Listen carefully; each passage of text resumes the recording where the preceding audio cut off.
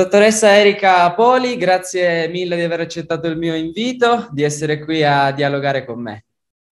Grazie, grazie a lei. È sempre un piacere poter dialogare, perché già la parola dialoghi è una parola di apertura, quindi è sempre un piacere. E di questo tempo ce n'è anche bisogno di, di parlarsi e di confrontarci.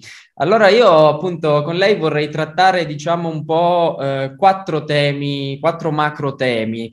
Eh, io li ho un po', l'ho un po' sintetizzati così, eh, partendo da un tema che però appunto secondo me è un tema diciamo generale, complessivo, che è il cosiddetto tema della crisi antropologica noi diciamo, stiamo attraversando anche in quest'ultima fase con le varie problematiche che ci sono state legate alla malattia, alla, alla perdita magari di, di, di, parenti addirittura, comunque insomma in generale c'è un problema di, eh, anche di confronto con, eh, il, con, i vari temi, quelli diciamo più, più alti, come la morte, come la vita, come, la, come appunto il confronto anche tra le persone, come il dialogo, come eh, le identità. Tutto è, diciamo, in travaglio e tutto diventa, come dire, appunto un motivo di crisi e quindi anche di cambiamento, di scelta.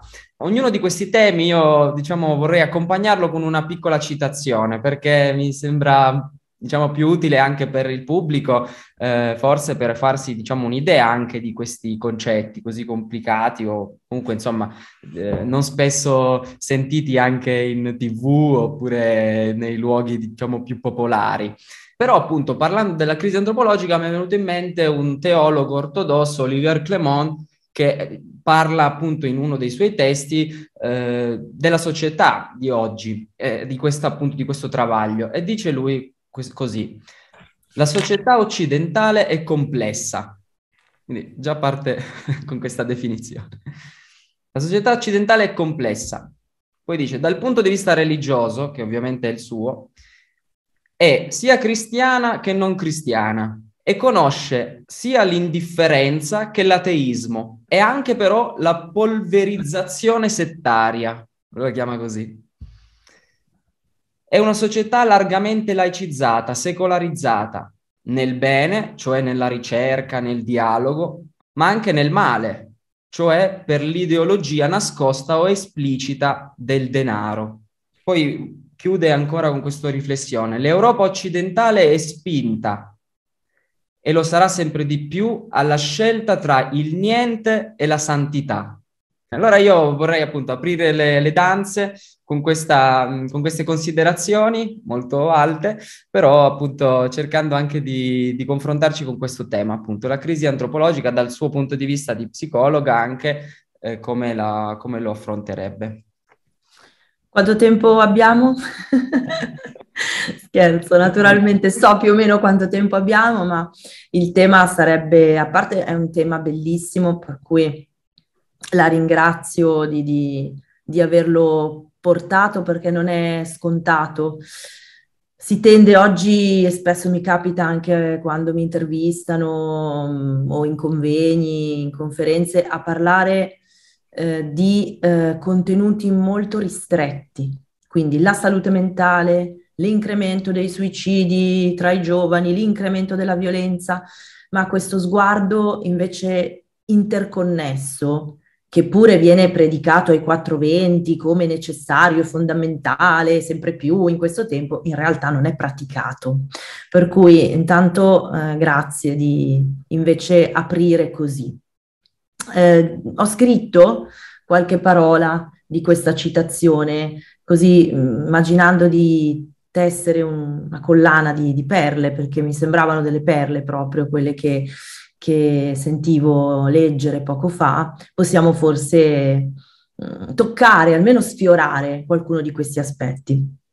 Ma prima di eh, andare appunto a vedere le, le perle eh, di questo filo ipotetico, giusto una parola sull'antropologia, nel senso che eh, l'antropologia è in fondo la grande dimenticata eh, della cultura eh, attuale.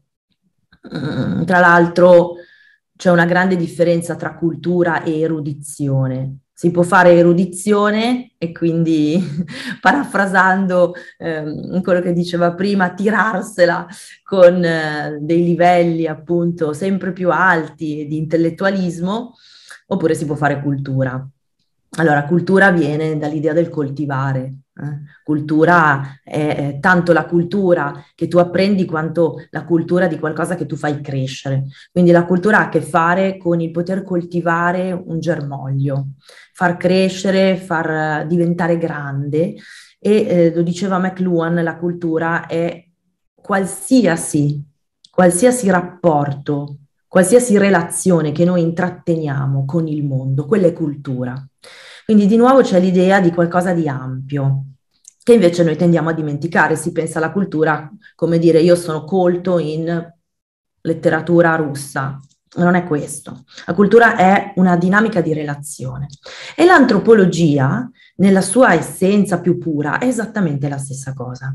Antropologia non è antropocentrismo, ma è esattamente il contrario.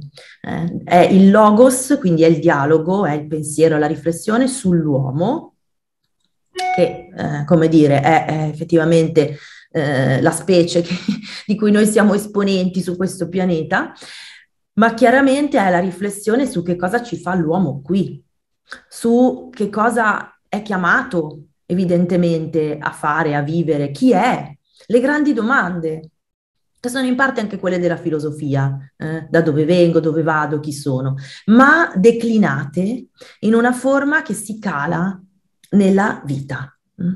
nel, nella, nell'essenza di ciò che è vita, cioè civiltà. Quindi è il, il, grande interrogativo sulla relazione tra la cultura e la natura, tra la civiltà e l'origine. Questa dovrebbe essere l'antropologia, questo fu l'intento dei primi antropologi, quelli che crearono l'antropologia. Cosa facevano? Partivano, viaggiavano, andavano a esplorare altre civiltà, mondi diversi, mondi lontani, i popoli cosiddetti primitivi, che avevano tutt'altra visione, tutt'altra visione della vita, tutt'altro modo di rapportarsi alla vita, dove per vita intendiamo pianeta, intendiamo piante, intendiamo minerali, intendiamo animali, intendiamo altri esseri, intendiamo addirittura sacralità.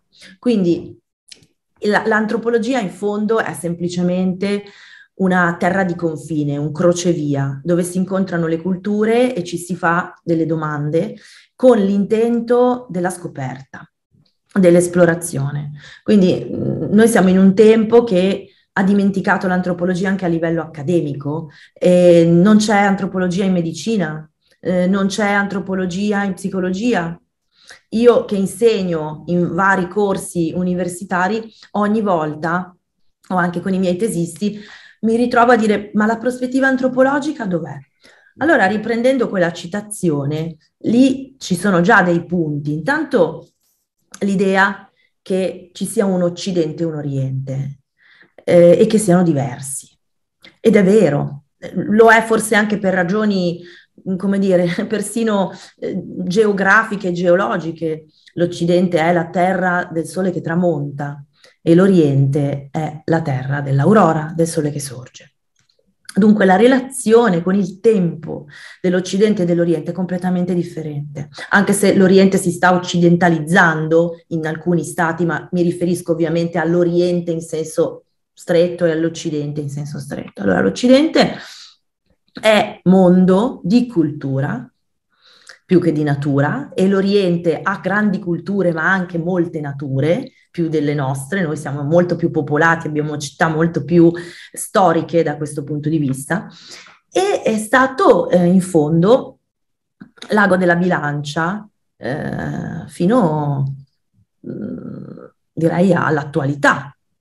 È soltanto nell'attualità che la geopolitica ci dice che l'Oriente sta prendendo delle posizioni differenti, ma in realtà, visto che appunto eh, Oliver Clement parla di, di Europa, in realtà l'Europa continua ad essere un punto strategico, non solo a livello geografico, ma a livello culturale, continua ad essere un punto di interesse, tant'è che Cina, Russia, Stati Uniti giocano in questo scacchiere per accaparrarsi di fatto il controllo dell'Europa nonostante tutto. E questo non lo dico io, lo dicono i geopolitici. Di nuovo la geopolitica non è né economia né politica né geografia, è di nuovo una terra di confine. Però è dalle interconnessioni e dalle relazioni tra le cose che noi capiamo la realtà. Quindi Occidente cosa vuol dire? Vuol dire terra del sole che tramonta, cioè terra nella quale si tende a voler definire, definire, guardare la fine di una cosa. Mm? Si tende a voler segnare dei confini. Mm? Le grandi terre, le grandi steppe dell'Oriente, i grandi deserti non hanno confine, mentre noi siamo divisi e ben delimitati. È una terra nella quale la cultura antropologicamente determinata e il concetto di pensiero illuminista positivista ha preso piede proprio perché c'è in qualche modo una correlazione profonda con l'idea della fine, del definire, del confinare. Quindi l'Occidente, cosa, cosa diceva questo teologo? Diceva è complesso, eh, sì, è complesso perché naturalmente ci sono tante tessere, lui lo, lo, lo, aveva ben espresso, e eh, la complessità è un'arma a doppio taglio, nel senso che da un lato la complessità è ricchezza, ma dall'altro è groviglio, mh? Mm, è multi, multidimensionalità e il grande problema è osservare e affrontare la complessità invece con l'intento di ridurla a una dimensione sola o a due al massimo. E qui eh, è interessante perché le parole che, che diceva il teologo, eh, laicizzata, secolarizzata all'ideologia del denaro.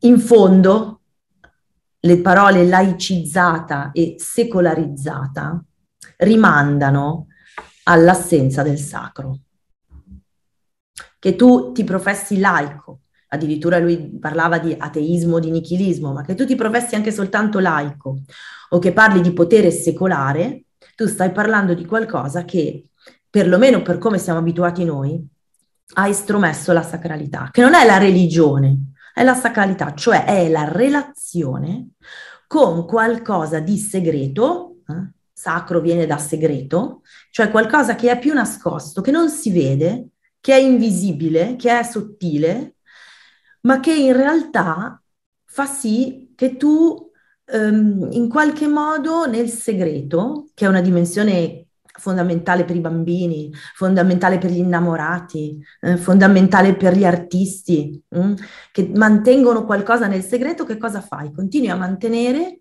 una fiammella, un fuoco, un qualcosa di vivo che è protetto il cuore di qualcosa che è protetto, così come era protetto il cuore della casa per gli antichi eh, romani, dove c'era sempre, ardeva sempre il fuoco eh, di Estia, che veniva portato in realtà all'interno della casa da Hermes, che era di nuovo colui che camminava tra i mondi, il uh, protettore dei bambini, dei ladri, dei furfanti, dei bugiardi e dei medici camminava tra il mondo dell'aldilà e dell'aldilà e eh, era l'unico tra gli dei che poteva andare nei due mondi, portava il fuoco e Estia lo custodiva. Ecco, il sacro è questo, è un fuoco che arde da qualche parte, nella tua casa, che è segreto, ma a cui tu fai ritorno ogni qualvolta hai bisogno di ritrovare un centro.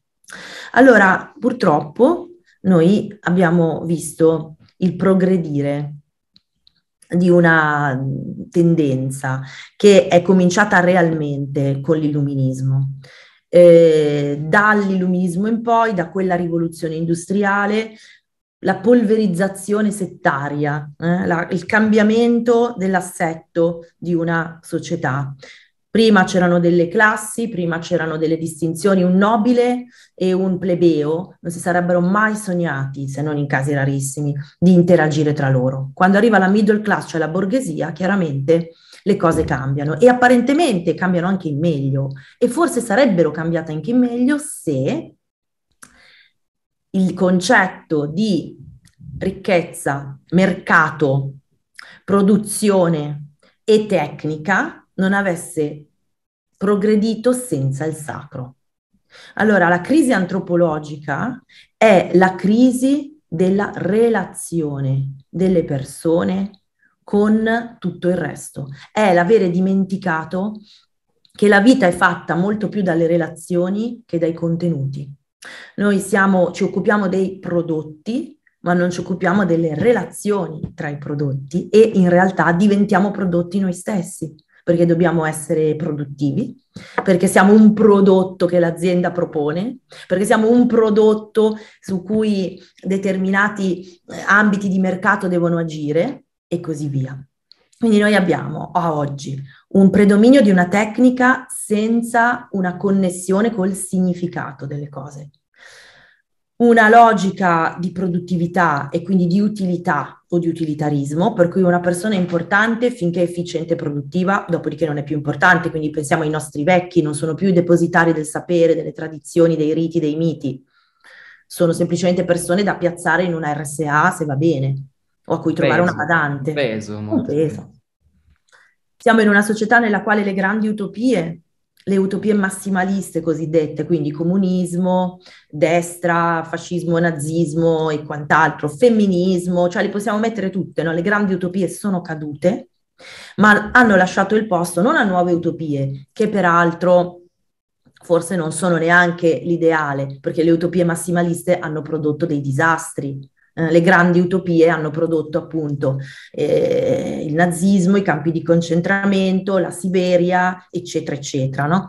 In passato le crociate, le stragi degli ugonotti, no? quindi la grande utopia che pretende di avere la verità, cioè sapere che cosa è giusto che accada e metterlo in pratica, in realtà porta dei disastri. Però non abbiamo sostituito nient'altro. Quindi noi abbiamo una società senza sacro, senza utopie, cioè senza sogno, senza dimensione ideale. Tant'è che le persone, e ancor più i giovani, e io li vedo perché chiaramente li curo, quindi li vedo in studio con me, non hanno un futuro, non sanno che cosa vogliono e lo sanno sempre meno. E eh, questo però produce dei, delle ricadute molto pesanti, perché la carenza di senso produce depressione, la carenza di utopia, di sogno, di idealità, di rapporto col sacro produce anche assuefazione al male e indifferenza e rassegnazione, cioè l'idea che le cose non si possono cambiare, che il male fa parte della vita e tutto sommato è normale. E quindi noi andiamo incontro a quel famoso nichilismo di cui parlava il, il teologo.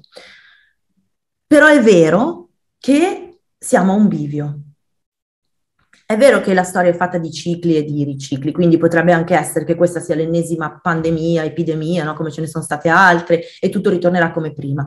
Ma la sensazione è che invece i cicli è vero che procedono, ma possono anche essere delle spirali, ascendenti o discendenti ovviamente.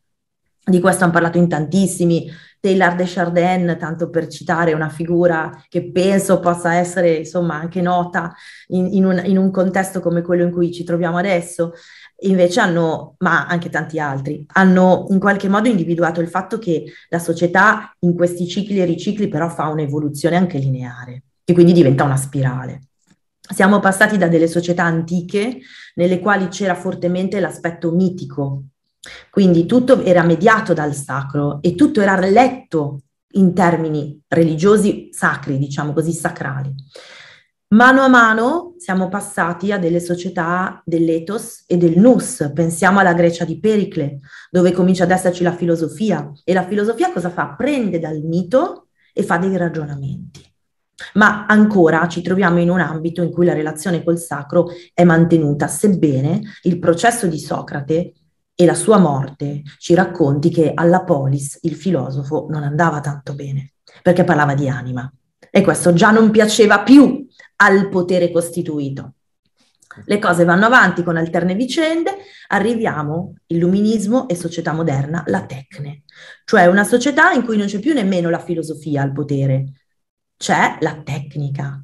E adesso che siamo sul limitare della grande, no, cosiddetta quarta rivoluzione industriale, che è una rivoluzione di intelligenze artificiali e di digitale, ci troviamo un bivio che è quello della possibilità di modificare quello che è addirittura il nostro assetto genomico. Allora la crisi antropologica non è più soltanto la crisi del sacro, la mancanza di quello che in Oriente o nei popoli primitivi è il guardare all'aurora, cioè il senza tempo, che non finisce, che comincia e non sai quando finisce, quindi rimanere in una dimensione fuori dal tempo. Non è più solo questo, non è più una questione solo culturale, ma diventa una questione che va a questo punto ad incidere nell'identità dell'anthropos, cioè dell'uomo. Ed è per quello che a mio modo di vedere qui siamo veramente a quel bivio che aveva immaginato Taylor de Chardin e che dice il teologo, cioè o andiamo verso il niente, cioè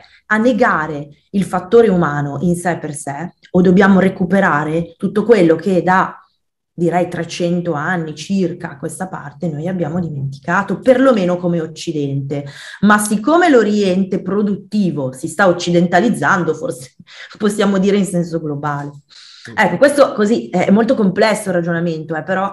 Perfetto, no, ma io credo che abbiamo bene iniziato con, con, questa spiegazione che ti ringrazio molto di aver fatto perché comunque ci dà un po' anche un orientamento iniziale, perché come, come, come, hai detto giustamente, ci sono tantissimi eh, aspetti all'interno di, del termine antropologia, perché effettivamente riguarda tutto, riguarda tutto l'essere umano e tutti i suoi lati più, più intimi, ma anche quelli più esterni, quindi tutto il, suo fare, il suo agire nel mondo.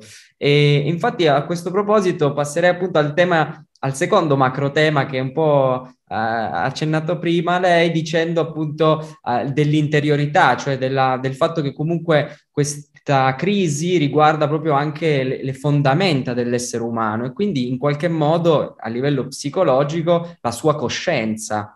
Allora io qui mi sono preso questa citazione di Carl Gustav Jung che ovviamente per, per far diciamo per rispondere un po' è di casa invece dalle, dalle, sue parti. E quindi io diciamo mi sono preso questa citazione molto forte perché appunto lui è sempre stato secondo me un analista diciamo veramente eh, formidabile non solo del, della, dell'aspetto diciamo appunto interiore ma anche proprio del, dell'aspetto cosmico diciamo antropologico antropocosmico per unire le due cose. E quindi eh, lui diceva così la coscienza è una recentissima acquisizione della natura già qui anche lui come Olivier Clement, come tutti quelli che pensano, diciamo in maniera un po' forte, dicono subito tutto nelle prime due righe, diciamo così. e quindi lo ripeto, la coscienza è una recentissima acquisizione della natura, è tuttora nella sua fase sperimentale, messo tra virgolette.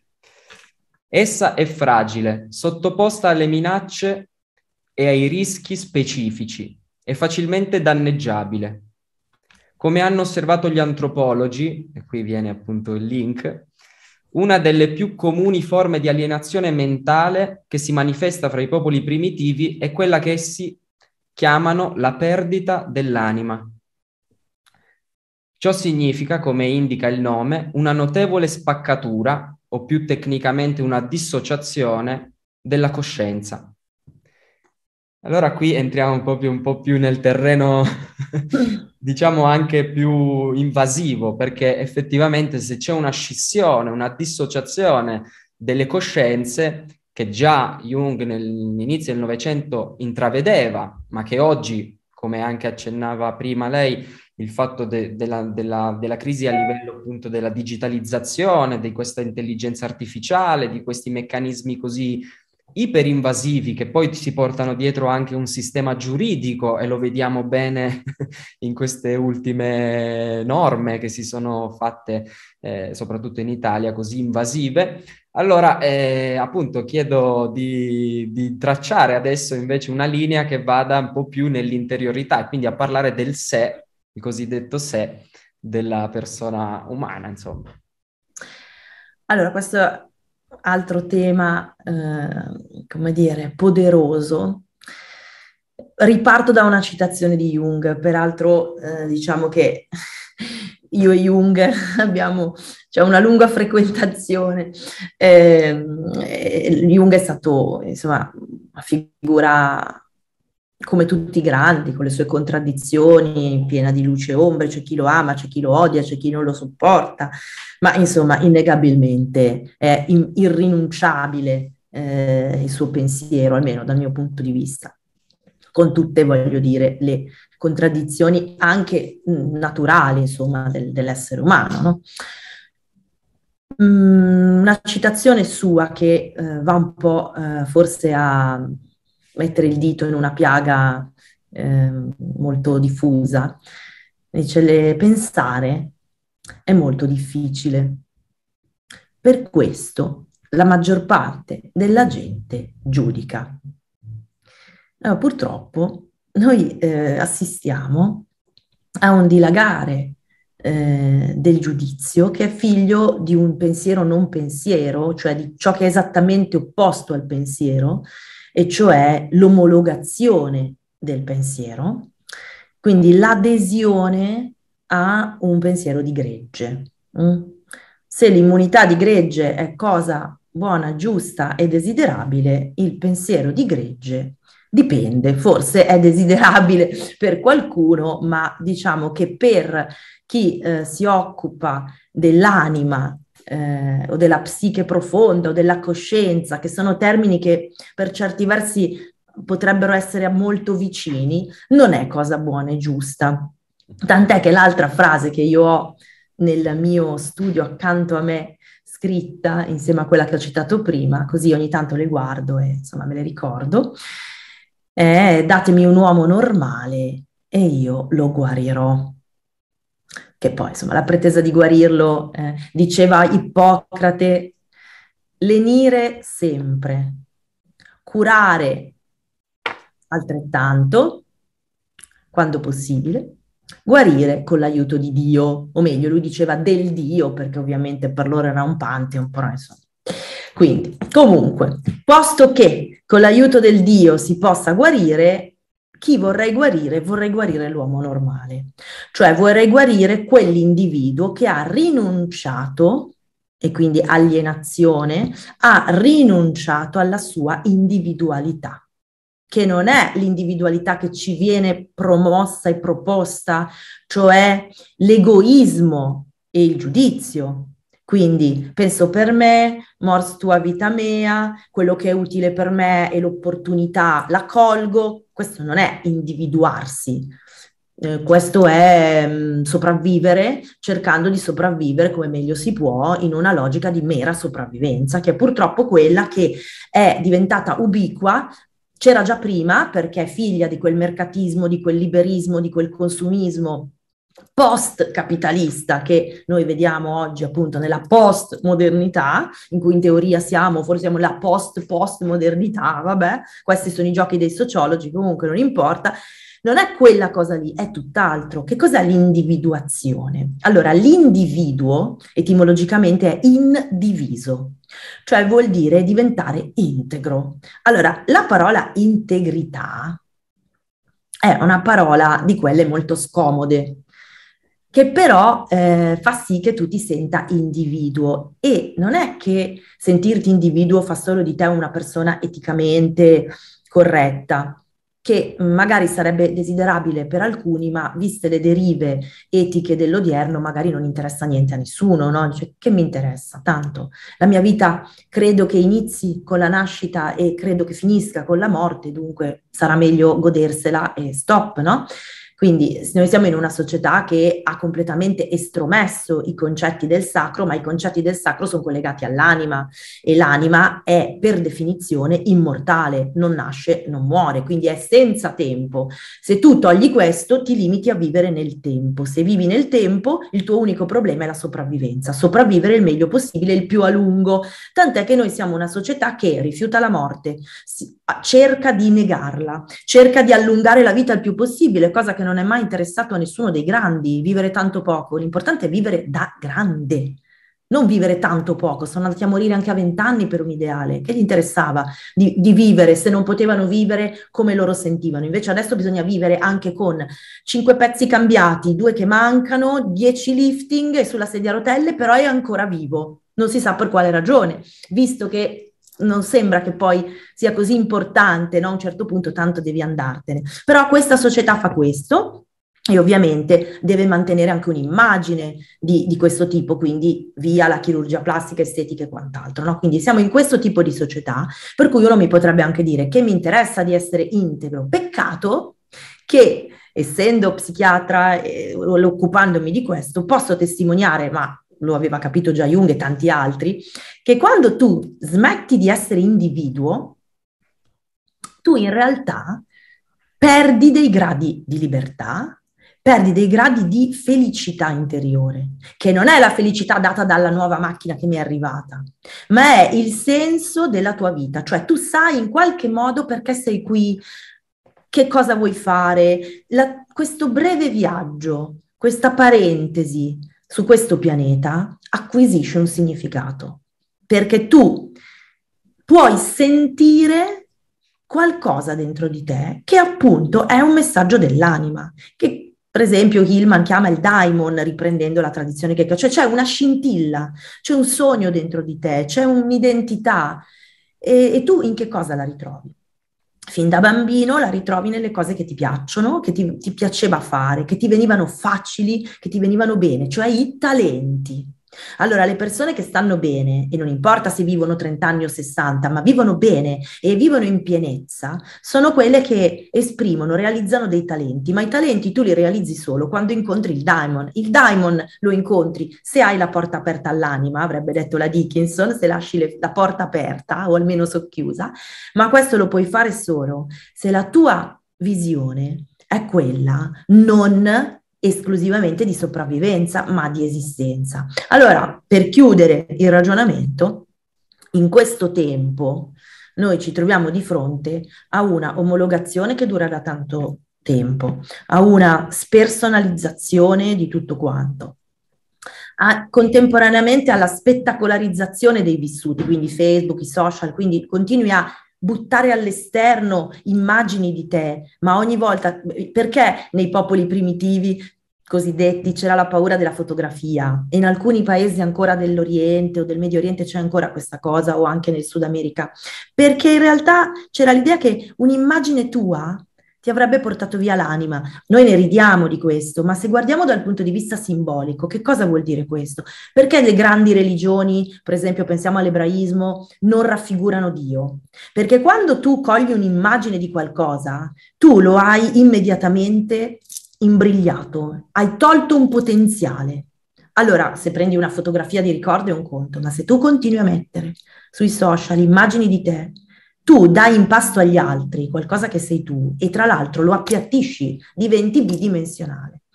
Allora, il punto è che pensare è difficile, che pensare è faticoso, quindi le persone si acquietano con che cosa? Con eh, il passaggio verde per tornare al cinema o in discoteca o al ristorante o in palestra e poi progettare la vacanza e poter viaggiare di nuovo. E questo pare che sia uguale alla felicità.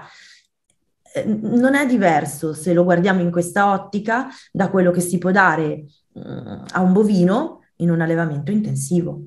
Tant'è che i condomini sono più o meno, diciamo, con le metrature, se facciamo le proporzioni, quelle che avrebbe un bovino in un allevamento intensivo. Penso che viva mediamente bene fino al momento in cui viene macellato. Quando viene macellato non so se poi magari eh, le cose sono così piacevoli. Quindi eh, mi, mi fermo. Mi ha fatto venire in mente quell'immagine del film di Matrix, no? Famoso, dove appunto erano tutti allevati. In realtà eravamo tutti allevati in un'ottica, diciamo così, eh, appunto anche simbolica, però effettivamente questa immagine appunto delle, degli esseri umani coltivati un po' da un sistema, da un sistema, poi lì chiaramente eh, l'abbiamo anche un po' detto prima, eh, le cose sono interconnesse, giusto? Anche lei ha fatto città, prima ci, mh, ha fatto riferimento al tema geopolitico, al tema eh, politico, appunto, quindi insomma c'è, c'è tutto, è tutto connesso, perché poi se appunto la mer- mercantilizzazione dell'essere umano e alla fine vuol dire anche questo, poi incide anche sul livello appunto interiore della ricerca dell'individuazione, come diceva appunto Jung, che non è appunto individualismo, ma anzi ricerca proprio del tuo particolare, della tua essenza eh, Chi sei tua, tu? La rarità, eh sì. Mm, c'è una bellissima frase di Marta Graham, una danzatrice. Certo. Io, Io ho dei trascorsi di danza, per cui il mondo della danza è sempre un, un luogo che mi piace frequentare. E lei diceva una cosa da danzatrice molto semplice, ma in realtà molto potente. Cioè tu hai un'energia viva dentro di te, hai una forza vitale. Non spetta a te decidere se è buona o cattiva, giusta o sbagliata, però sappi che se tu non la esprimi, eh, il mondo non l'avrà e questa forza si esprime in te in maniera unica, irripetibile. Se tu rinunci a esprimere questa unicità, il mondo andrà avanti lo stesso, ma non avrà questa nota, per cui a te come unico compito è dato quello di essere un canale per questa energia, il resto non ti deve interessare. Se noi confrontiamo questa, questa, questo invito con quello che vediamo oggi, vediamo bene eh, la perdita dell'anima di cui parlava Jung riferito a, ai popoli certo. primitivi.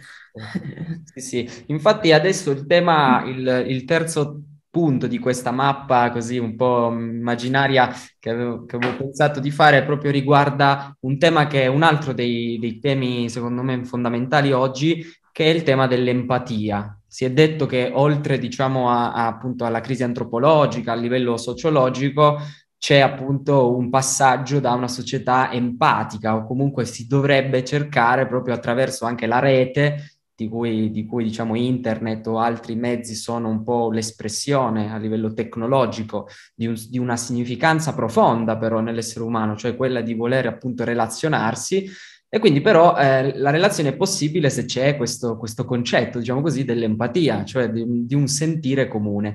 E qui la citazione, nel caso specifico, è di eh, Daniel Goleman, che è quest'altro, diciamo, famoso psicologo eh, che ha studiato molto l'intelligenza emotiva e quindi anche il concetto proprio di empatia. E lui in un suo passaggio dice così, citando inizialmente John Donne, un altro poeta, dice, e così non mandare mai a chiedere per chi suona la campana, famosa citazione, essa suona per te.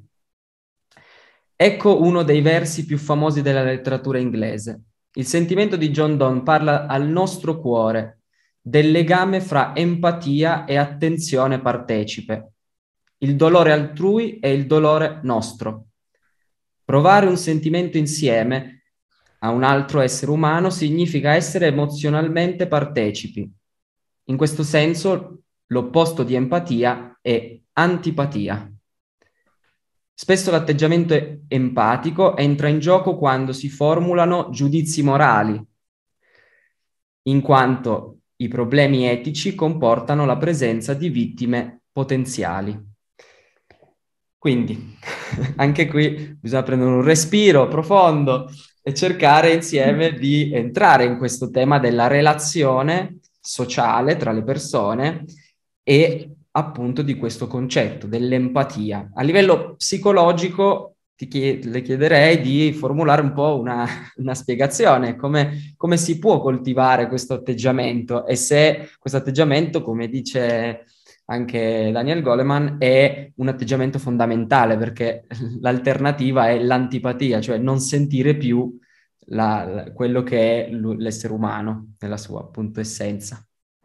Ma io credo che qua eh, per, per, capire molto, molto semplicemente anche questi concetti che potrebbero essere invece più complessi, basta guardare gli ultimi due anni eh, della nostra vita, parlo almeno per quanto riguarda l'Italia, nel senso che ehm, non che nel resto del mondo non sia successo nulla, ma sicuramente nel nostro stato, mh, mm, a parte che lo conosco meglio per ovvie ragioni, però è molto, tutto molto, molto amplificato. Se si legge un po' di stampa estera lo, lo si vede bene. Eh? È, è, come se questo fosse un acquario eh, nel quale tu puoi guardare più da vicino quello che nel grande mare magari ti potrebbe sfuggire quindi mi riferisco soprattutto ai due anni dell'Italia ultimi, dove abbiamo visto eh, il trauma collettivo pandemico, ovviamente declinato eh, sulla paura, sulla angoscia, la paura del contagio, prima di tutto, su tutti i temi eh, ovviamente connessi al lutto, quindi alla perdita, no, le famose bare, le fotografie delle bare, eccetera, eh, il tema del confinamento e quindi perdita delle relazioni, restrizioni del contatto e l'altro grande tema incertezza, contraddittorietà dei messaggi. Quindi noi, eh, come dire, ehm, abbiamo declinato tre componenti fondamentali del trauma a livello collettivo, no? L'angoscia, la perdita, l'incertezza e la perdita intesa anche come perdita di contatto, ovviamente non solo lutto, ma è sempre un lutto di fatto. E che cosa abbiamo visto? Abbiamo visto che dapprima avevamo chi si metteva sul balcone uh, e, e, cantava le canzoni al pomeriggio e c'erano c'era gli striscioni con scritto ce la faremo, eccetera, eccetera. No? Quindi abbiamo avuto il primo rebound di resilienza cosiddetta, questa parola che insomma piace agli psicologi attualmente, eh, a me non piace in realtà, eh, perché tra l'altro la resilienza dà l'idea che il materiale viene dalla, dalla, meccanica e il materiale ritorna, cioè riprende la forma che aveva prima di essere stato sottoposto a una trazione.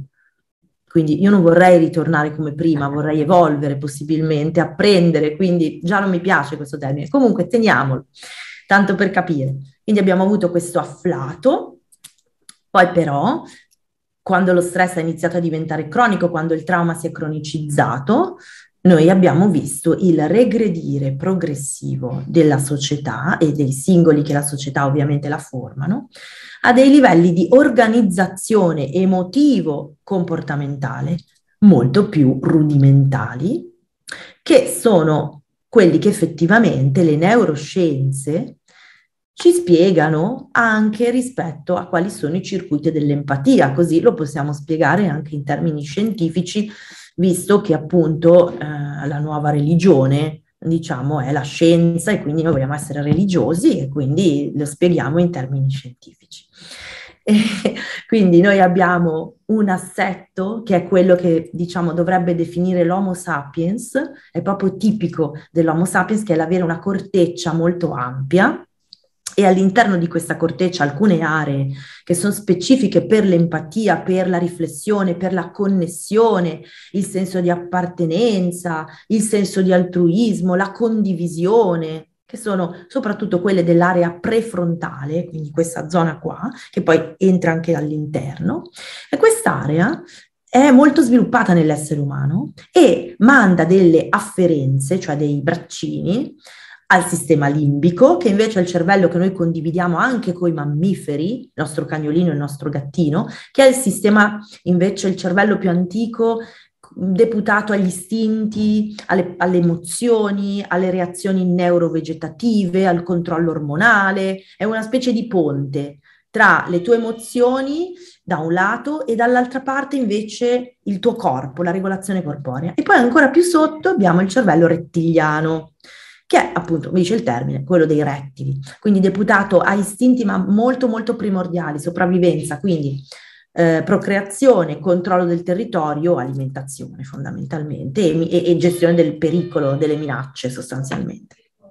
E Cosa è successo? Che quando noi stiamo bene, quando noi siamo in un campo sicuro, cioè siamo stabili e ci sentiamo bene, noi attiviamo tutti e tre questi circuiti assieme, quindi lavorano in qualche modo in network e noi siamo in grado di tenere a bada i nostri istinti, quindi uno che ci attraversa la strada mh, mm, di colpo noi scendiamo e lo uccidiamo come farebbe il cervello rettile, imprechiamo po', un pochino, come farebbe il limbico, ma poi arriva la corteccia e come dire, dice, vabbè, insomma, pazienza, meno male che non si è fatto niente e tiriamo dritto per la nostra strada. Tanto per fare un esempio banale.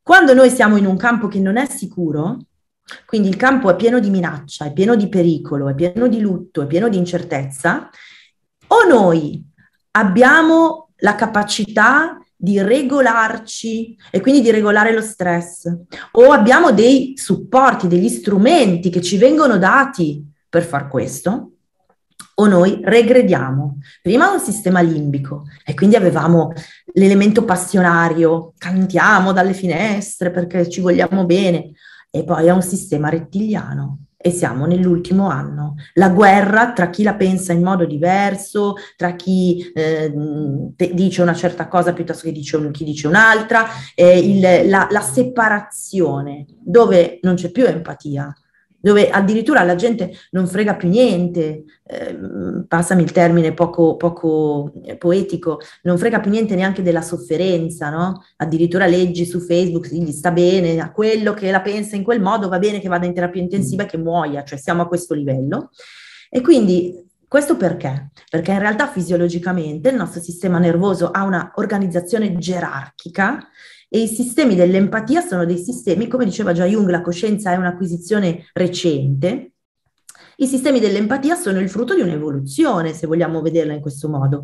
E cosa si sarebbe dovuto fare? Allora, ci sarebbe dovuta essere un'attenzione per questo, cioè è da tanto tempo che noi sappiamo come funziona l'empatia, non è stata curata.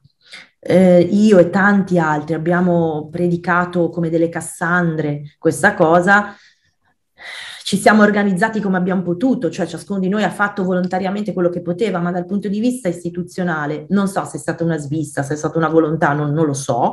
In, in ogni caso guardo i fatti e i fatti mi dicono che in realtà la salute mentale, cioè il preservare un campo sufficientemente sicuro e una regolazione adeguata del trauma e delle risposte al trauma, non è stata fatta a livello globale, a livello collettivo, perlomeno in questo paese con il risultato che noi abbiamo una popolazione che non è fatta soltanto dal popolo, ma è fatta anche dai medici che si occupano di quel popolo, gli psicologi, i governanti, i politici, i giornalisti, che sono tutti, tutti regrediti o quasi tutti, regrediti a un livello di funzionamento arcaico nel quale accendono il conflitto piuttosto che smorzarlo e in realtà sono animati loro stessi, perché li sento, poi ci parlo, quindi mi intervistano e poi ci parlo, per cui capisco, sono animati loro stessi da quelle stesse strutture che animano i loro ascoltatori, quindi la paura, l'incertezza, la perdita, il distanziamento hanno agito dentro di loro a livello psichico.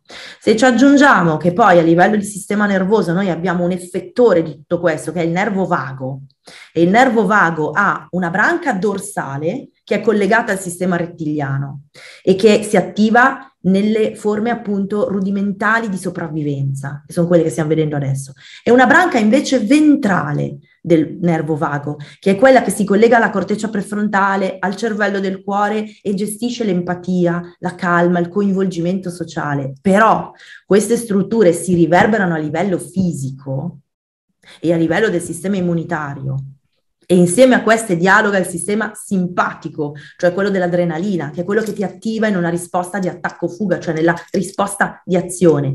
E questo regola tutta l'area surrenale e quindi il cortisolo. Più noi come popolazione stiamo in un assetto arcaico del sistema nervoso, più noi avremo dei danni a livello dell'omeostasi ormonale, del cortisolo e del sistema immunitario, cioè vuol dire una popolazione più aggressiva, più ostile, più antipatica, ma contestualmente con un sistema immunitario danneggiato, dei livelli di cortisolo aumentati, uguale infiammazione cronica, uguale patologie degenerative del sistema nervoso, del sistema immunitario, cioè autoimmuni, e in generale oncologiche, oltre al danno sulla salute mentale. Quindi apparentemente entrando in un assetto rettiliano, io mi preoccupo solo della mia sopravvivenza e non mi interessa più della collettività e del gruppo a cui appartengo e non mi interessa dell'altro e quindi faccio il mio interesse. Ma in realtà il risultato è che tra un po' di tempo saranno più malati di quanto non lo erano prima. Perché in realtà, e questo l'ha spiegato bene anche Damasio, la coscienza è vero che è un'acquisizione recente, come dice Jung, in senso psicologico, ma la coscienza dal punto di vista biologico è condizio sine qua non per la vita, cioè anche i batteri hanno una coscienza collettiva, hanno la, il concetto di cooperazione. Allora, se ti vuoi salvare nella natura, evolutivamente anche parlando, ti salvi con la cooperazione, non con il conflitto. Non è vera l'idea darwiniana dell'evoluzione come predominio di quello più forte, è stata smentita. L'evoluzione è una cooperazione dove certo c'è un adattamento tra più, quelli più forti e quelli meno, però in realtà quello che noi stiamo facendo è seminare in realtà malattia e seminare fragilità nelle persone e io non mi stancherò mai di dirlo, e ovviamente essendo un medico e lavorando in questo. Quindi la questione non è che chi se ne frega perché adesso non è il momento di pensare ai bei sentimenti perché adesso c'è un'emergenza, è esattamente il contrario. I bei sentimenti sono quelli che ti traghettano fuori dall'emergenza e che tengono il tuo sistema neurovegetativo nell'assetto più consono alla salute. Però pare che queste cose che pure si sanno non facciano breccia eh, dove dovrebbero. Sì. Bene, no, beh, noi abbiamo fatto il nostro in questo caso perché effettivamente la panoramica che ha appena fatto è fondamentale, anche perché appunto, come diceva lei, è, è scientifico, cioè non, non, è un piano, come dire, esclusivamente, eh, come dire, spirituale o eh, di psicologia, che anche qui bisognerebbe capire se è scientifico o non scientifico, anche il piano psicologico, ma comunque qui apriremo una vexata question che non abbiamo tempo di discutere oggi, però eh, è stato secondo me esaustivo il, il riferimento. Quest'ultimo punto invece per concludere un po' questa, questo tragitto riguarda invece proprio anche una cosa che ha appena detto lei, cioè questa, questa paura io penso che appunto se po- possiamo in qualche modo pensare una uscita mh, da questo clima così appunto soffocante e per certi versi perverso, ehm, l'unico modo, anche qui Jung docet, è guardare in faccia l'ombra, guardare in faccia la paura. E, e, appunto qui per aiutarci un po' in questo ultimo passaggio mi è venuto in mente una persona che è stata di recente anche eh, attraversata da questo cambiamento della, della, coscienza in altro, che è Thich Nhat. Uh-huh. Thich Nhat Hanh appunto scomparso proprio il 22-01-2022, o per meglio dire si è trasformato in qualcosa d'altro e lui diceva proprio questo sul tema della, del, della paura. Diceva, la nostra più grande paura è che quando moriamo o quando moriremo non ci saremo più. Anche qui, come prima. cioè, la prima frase dice un po' tutto del, del discorso. Molti di noi credono che tutta l'esistenza sia limitata a un periodo particolare, il tempo della vita. Pensiamo che questo tempo cominci quando nasciamo e che finisce quando moriremo e torneremo a essere niente. Così siamo pieni di paura dell'annichilazione. Tuttavia, guardando in profondità, potremo comprendere la nostra esistenza in modo del tutto differente.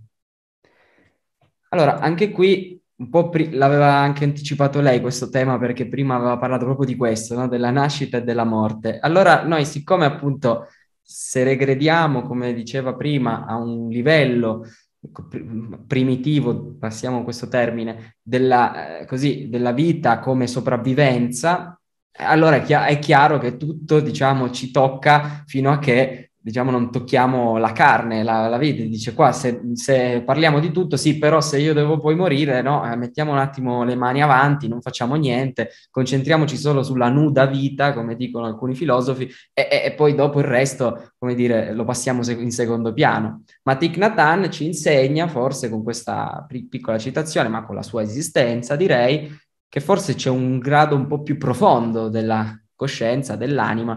Allora io le chiedo di lasciarci con questo pensiero sulla, sulla vita, sulla morte e sul destino dell'anima che forse appunto ha piani un po' più elevati che non la sopravvivenza. Mi colpiva molto mentre lei parlava eh, a parte che ci, ci, possiamo dare anche del tu perché ogni tanto eh, ci siamo dati del tu e ogni tanto del lei, ma ormai dopo questa chiacchierata ci conosciamo, voglio Bene, dire, dai, intimamente, sì. perché questi temi sono quelli che poi ti fanno capire la risonanza che c'è con qualcuno. Quindi ti do del tu e dammi pure del tu. Eh, mentre parlavi mi colpiva la, l'immagine, io penso che i, poi chi vedrà questa intervista vedrà anche la tua immagine.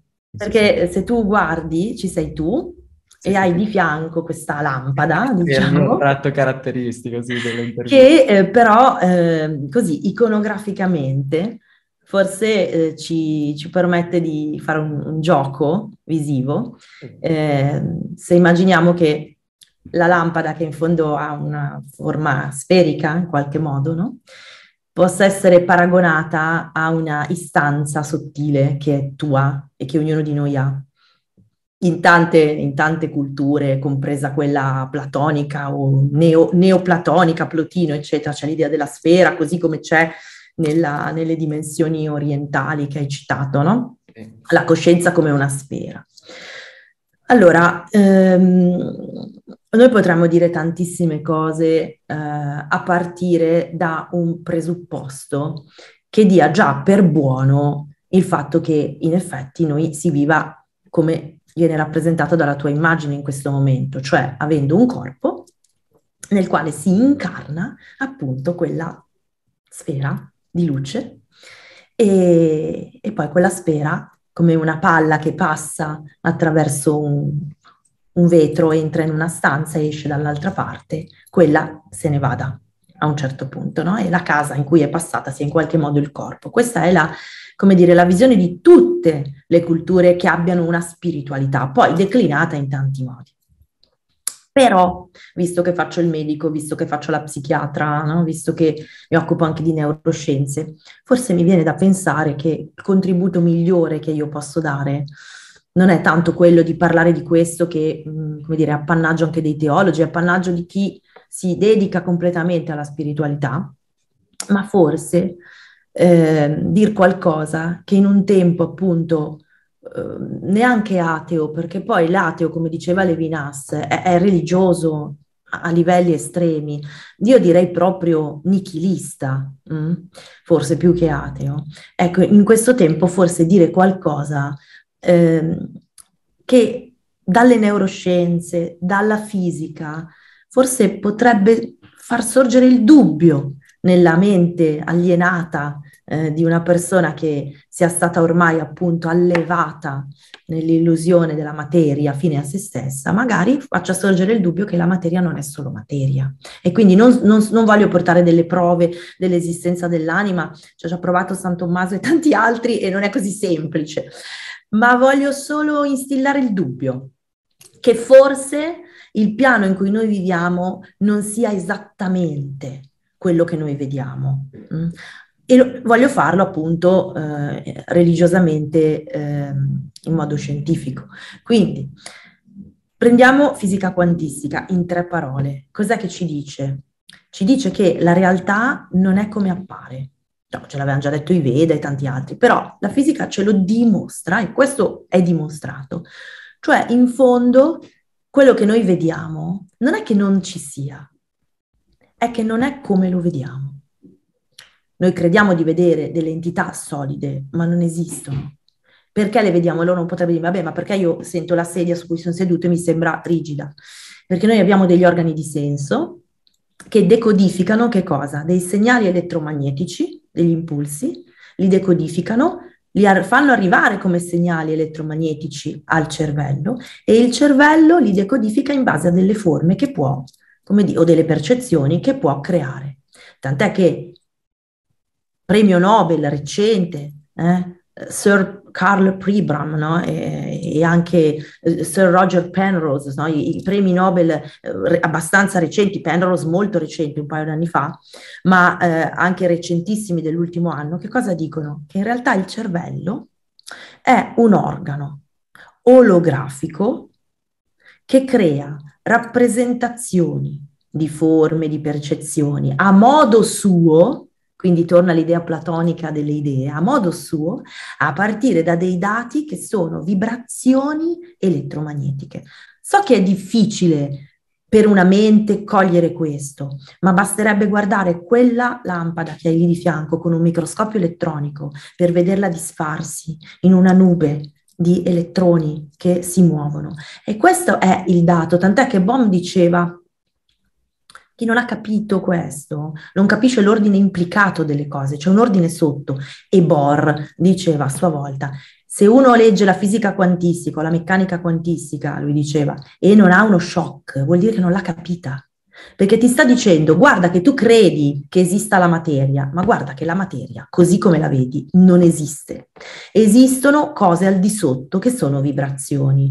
Poi andiamo a prendere gli astrofisici e gli astrofisici ci dicono che in realtà l'universo non è fatto di massa. Il 95% dell'universo non è fatto di massa. Cosa è fatto? Di antimateria, energia oscura, materia oscura, cioè una roba che non è massa. Poi andiamo a prendere i neuroscienziati, prendiamo Tononi, per esempio, un nostro che vive negli Stati Uniti però è italiano, che un, in uno degli ultimi libri scrive, il sottotitolo è Dal cervello all'anima. E cosa dice lui? Dice, andando a studiare tutto, cercando di trovare delle basi neuroanatomiche della coscienza nel cervello. Prima ho cercato delle aree e non le ho trovate. Poi ho cercato dei network, cioè ho detto, beh, la coscienza sarà figlia della comunicazione tra aree, e poi non le ho trovate. Poi ho cercato le informazioni, cioè pacchetti di impulsi elettrici, e non l'ho trovata. E alla fine, da scienziato, devo dire che c'è qualcosa che informa, cioè dà la forma a tutto questo, ma è prima di questo, è una coscienza che io non posso chiamare in nessun modo, non la posso, non è il frutto, non è la somma degli addendi, quindi cervello, corteccia, non, non è la somma di queste parti, è qualcosa che anzi fa sì che queste parti funzionino e io la devo in qualche modo chiamare anima, anche se non so che cos'è. E in fondo, questa tra l'altro non è solo dentro di me, è fuori da me. Per cui tutti i fenomeni di sincronicità di cui parlava Jung, Princeton per anni ha studiato i fenomeni di telepatia e ha dovuto dire che effettivamente in qualche modo l'entanglement, cioè il, il, il, toccarsi al di là dello spazio e del tempo di qualcuno che connesso esistono e così via, le esperienze di premorte, insomma ci sono tantissime sfaccettature della scienza che ci portano a dire che in realtà c'è un qualcosa che organizza quello che per noi è la materia ma non è materico e lo dobbiamo dire da scienziati, non da teologi. Allora, se le cose stanno così, e stanno così perché a questo punto ne abbiamo almeno, come dire, le evidenze che instillano il dubbio, allora almeno la domanda, non dico la risposta, perché forse la risposta è di una vita intera e poi forse dopo, ma almeno la domanda sul senso di essere qui, se effettivamente io sono un'entità energetica, elettromagnetica, di quals- qualsiasi termine vogliamo usare, il sé, l'anima è uguale, una coscienza che abita una materia, ma almeno una domanda su che posto voglio avere in questa materia e dove voglio andare mm, e da dove vengo e dove andrò, io credo che sia irrinunciabile. E io credo che sia solo questo il punto, che le persone si facciano delle domande. Le risposte poi sono infinite, forse ognuno le trova a modo suo, ma una persona che si fa delle domande sarà una persona che vive la vita in una forma religiosa, dipendentemente da, da, dalla risposta che dà. Cioè comincia a guardare le relazioni tra le cose. Capisce che è già una relazione, fin dall'inizio. Allora curerà le relazioni. Una persona che invece crede che quello che esiste è soltanto ciò che vede, è ovvio che non curerà le relazioni, non si farà nessuna domanda ed è potenzialmente una persona altamente manipolabile e contemporaneamente estremamente violenta. Perché la violenza sorge dal fatto che non ci sia alcun senso in ciò che tu fai se non quello della pura necessità materica. Allora diventi violento. La natura è violenta. quando il ghepardo azzanna la preda è violento, ma se tu guardi la relazione che c'è tra il ghepardo, la preda, la foresta, i piccoli altri predatori, quello che rimarrà della carcassa di quello per altri predatori ancora, e l'humus che poi andrà, e il ghepardo che a sua volta non azzanna più di ciò che mangia, mai. Cioè se tu guardi all'armonia dell'insieme, non è più violento. Questo è un grande insegnamento di Thich Nhat Hanh. Thich Nhat Hanh era molto centrato su questo, l'armonia dell'insieme. Se tu guardi il singolo atto è violento. Se tu guardi l'insieme, all'interno di questo Anima Mundi sta orchestrando grande, un grande spettacolo di vita. Ma lo puoi fare solo se tu riesci a fare un salto di coscienza al di là del singolo oggetto. E forse, forse, la scienza potrebbe oggi proprio essere, riprendiamo il bivio del teologo, a un bivio. O diventa mh, totalmente asservita a un potere utilitaristico oppure diventa proprio quella disciplina che può riportare le grandi domande eh, sulla vita. Sì, sì, è questo il bivio. Infatti speriamo con questo nostro incontro di aver stimolato proprio questa riflessione e di aver creato un po' le, le, le possibilità per eh, porsi domande ulteriori e per aprirsi al mondo con quella curiosità che anche i bambini hanno nell'affrontare eh, la vita e quindi anche la, la possibilità appunto di, di vivere pienamente senza dimenticarsi queste cose importanti, appunto, che il piano materiale della fisica, del ragionamento sono fondamentali, ma solo se connessi a, al piano anche dell'anima e quindi anche della, della totalità dell'essere in quanto diciamo anche spiriti e quindi anche come, come dire non limitati alla sopravvivenza della specie cosiddetta. Quindi io ti ringrazio molto, se siamo del tu, grazie, grazie Erika, spero che sia l'inizio di questa nostra collaborazione, poi magari in futuro ci risentiremo per affrontare altri temi. Molto volentieri, anche perché, anche se sono stata in alcuni passaggi, eh, come dire, non voglio dire pessimista, però insomma sicuramente eh, molto precisa nel, nel, definire quello che secondo me è una deriva pericolosa. In realtà io continuo per fortuna a incontrare sulla mia strada persone che invece mi pare che l'anima non l'abbiano persa e quindi tra queste anche, anche te che, che stai dialogando con me e mi auguro insomma chi ascolterà, se ha l'interesse di ascoltare un, temi di questo tipo, presumibilmente è perché in qualche modo una connessione con quella dimensione ce l'ha e quindi credo che sia molto importante che continuiamo a, a portare avanti questo anche, come dire, danzando mm, nella, ne, tra le rovine o nella tempesta o nell'occhio del ciclone. Sì.